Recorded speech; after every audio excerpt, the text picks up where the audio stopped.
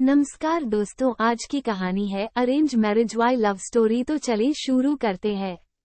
अभी यह arrange marriage बोले तो पूनम और अक्षय दोनों ही अनजान होंगे, बराबर? दोनों ही अनजान थे। उनकी शादी दोनों के परिवार वालों ने मिलकर पक्की की। दोनों ही मिडिल क्लास परिवार से थे। अभी अरेंज मैरिज है तो देखने दिखाने की प्रोसेस तो होगी ही। पंद्रह अक्टूबर की यह बात है। अक्षय और उसके माँ पापा के साथ पूनम को देखने आए थे। पूनम एक काफ़ी सुंदर लड़की थी। अक्षय को वो पहली नज़र में ही बहुत पसंद आई। उसने पूनम को रिश्ते के लिए हाँ कहा और पूनम से भी पूछा, तुम्हारा क्या निर्णय है? क्योंकि तुम्हारा निर्णय ज़्यादा महत्वपूर्ण है। पूनम ने भी तुरंत हाँ कह दिया और बाद में दोनों की शादी की तारीख पक्की की गई। बहुत धूम धड़ाके के साथ दोनों की शादी कर दी गई। उनकी शादी अक्षय के घर पर हुई।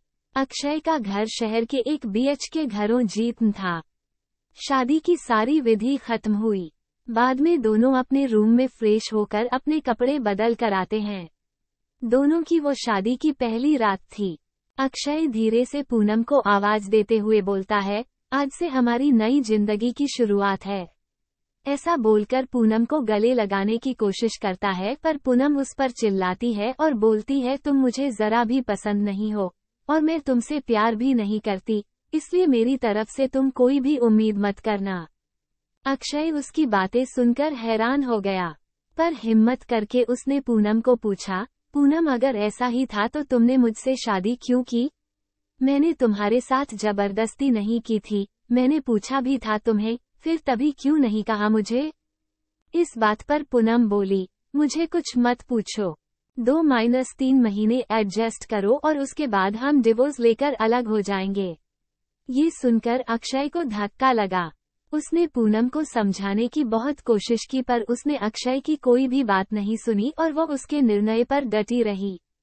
अक्षय उसे बोला, ठीक है, तुम्हें यही ठीक लगता है तो यही करेंगे। पर मेरी एक बात मानोगी क्या? पूनम बोलती है, क्या? अक्षय बोलता है कि एक छोटी सी मदद करोगी? जब तक माँ पापा यहाँ है, तब तक तुम यहीं पर रहोगी? एक बार वो गाँव चले गए तो फिर सब तुम्हारे मुताबिक होगा। वह भी तैयार हो गई इस बात पर और दोनों सो गए। हर रोज का दिखावा उनका चालू था। माँ पापा के सामने पति पत्नी की तरह रहना, उनको समझ में नहीं आए, इसलिए उनके सामने नाटक करना ऐसे करते करते दिन खत्म होने लगे।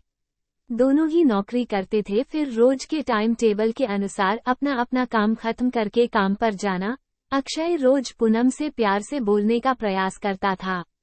पर पूनम अक्षय को अनदेखा करती थी, क्योंकि पूनम की एक ही इच्छा थी कि उसको जल्दी शादी नहीं करनी थी। घर के लोगों का मन उसे नहीं दुखाना था, इसलिए वो शादी करने के लिए तैयार हुई। पर शादी करने के बाद भी वो फिर से अकेली रहने का विचार करती थी क्योंकि उसे खुद की लाइफ किसी के साथ शेयर नहीं करनी थी। जैसे तैसे उसके दिन धकेल रही थी। अक्षय मात्र उसे हमेशा अपनी पत्नी का दर्जा देने का प्रयास कर रहा था। पर पूनम कभी भी अक्षय को पति का दर्जा नहीं देती थी। एक दिन फर्श पर पानी गिरा हुआ था तब पूनम का पैर उस पर अचानक से फिसला और उसका पैर फ्रैक्चर हो गया। अक्षय तुरंत उसे डॉक्टर के पास लेकर गया। उसका इलाज होता है, डॉक्टर कहता है, पैर पर जरा सा भी ज़ोर नहीं देना है। उसकी काफ़ी देखभाल करने के लिए बोलते हैं। फिर क्या अक्षय उसका बहुत ख्याल रखने लगा? हर रोज उसके पैर की मालिश करता था। उसका पैर फ्रैक्चर होने के कारण उसे ठीक से खड़ा भी नहीं हुआ जा रहा था। घर के काम और खाने की ज़िम्मेदारी अक्षय पर आ गई थी। पर अक्षय को तो पहले से ही ये सब की आदत थी। इस वजह से उसे कोई दिक्कत नहीं थी। अक्षय रोज खाना खुद ही बनाया करता था। उसके माँ पापा भी उसे थोड़ा घर काम में मदद करते थे। रोज काम पर जाने से पहले पूनम के लिए नाश्ता और खाना बनाकर खुद के हाथों से उसे नाश्ता खिलाता और फिर काम पर जाता था। टाइम पर उसे फ़ोन करके दवाई लेने के लिए याद दिलाता था। काम पर से आने के बाद सबसे पहले उसके पैरों की मालिश करता था। उसे थोड़ा चलने के लिए मदद करता था। कोई भी काम हो उसके लिए मन से करता था। फिर भी वो अक्षय को प्यार से नहीं बुलाती। उसका मन अक्षय को स्वीकारने के लिए तैयार ही नहीं था। एक दिन पूनम को देखने के लिए उसकी सहेली आए। उनकी बातचीत चालू थी तब अक्षय दोनों के लिए नाश्ता बनाकर लाया। फिर वो पूनम से बोला मैं जरा मार्केट से हो आता हूँ, थोड़ा सामान लाना है। तुम दोनों को कुछ चाहिए तो बता दो। पूनम बोलती है, नहीं, अभी कुछ नहीं चाहिए, तुम जाकर आओ पूनम की सहेली को अक्षय को ऐसे नाश्ता लाते देखकर धक्का लगा। उसने पूनम को पूछा, पूनम, घर के काम सब तुम्हारा पति ही करता है क्या? हाँ वही देखते हैं। मेरा पैर फ्रैक्चर होने के बाद से पूनम की सहेली पूनम को बोलती है कि तुम बहुत खुशनसीब हो जो तुम्हें इतना प्यार करने वाला पति मिला। पूनम के चेहरे पर मात्र प्रश्न चिन्ह था, तभी पूनम बोली, इसमें इतना खुशनसीब होने जैसा क्या है? उसकी सहेली बोली, अरे मेरा पति मुझे पूछता तक नहीं है कि कैसी हो तुम। खाना खाया कि नहीं? और मेरे पति ने आज तक कभी मुझको चाय तक नहीं पिलाई। मुझे भी लगता था मेरे पति भी मेरा ख्याल रखे ज़्यादा कुछ नहीं पर प्यार भरे शब्द ही बोले तो बहुत होता मेरे लिए। बहुत इच्छा होती है यार पर इसके बजाय मुझे हमेशा निराशा ही मिली। बहुत मन दुखता है मेरा यार। ये सब सुनकर पूनम विचार में डूब गई। उसके मन में अक्षय के प्रति प्यार जगने लगा। अक्षय का प्यार उसकी आँखों के सामने आने लगा। वो उस पर जान छिड़कता है यह उसे समझने लगा। अभी धीरे धीरे पूनम को भी अक्षय से प्यार होने लगा था। वो उस पर विश्वास करने लगी थी।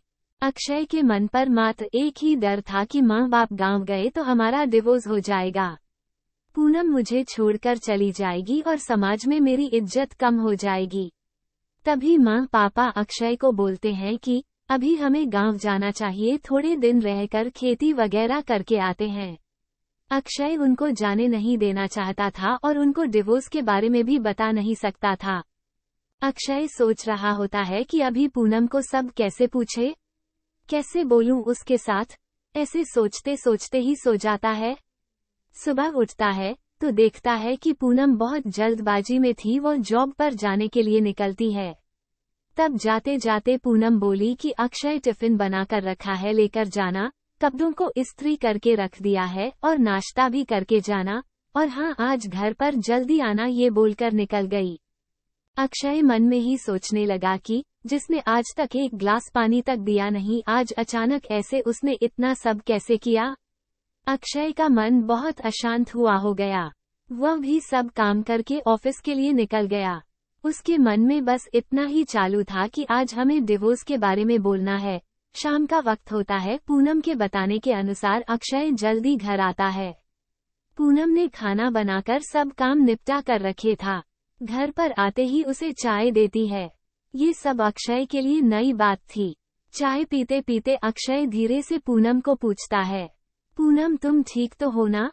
तुमने निर्णय तो लिया ही होगा ना? मुझे छोड़कर जाने वाली हो, इसलिए सब कर रही हो ना? इस पर पूनम बोलती है, मैंने अपना फैसला ले लिया है और मैं कहीं पर भी नहीं जा रही हूँ। मेरी पूरी ज़िंदगी में तुम्हारे साथ जीना चाहती हूँ और जाकर अक्षय को गले लगा लेती है। वो बोलती है, मैं तुम्हें छोड़कर कहीं नहीं जाऊँगी, मैं तुमसे बहुत प्यार करने लगी हूँ और अभी यह हमारा रिश्ता कोई भी नहीं तोड़ सकता। ज़िंदगी में बहुत बड़ी भूल हो गई होती मुझसे, अगर मैं तुम्हें खो देती तो। अरेंज मैरिज करके भी तुम्हारे जैसा इतना प्यार करने वाला पति मुझे मिला, यही मेरी खुशनसीबी है।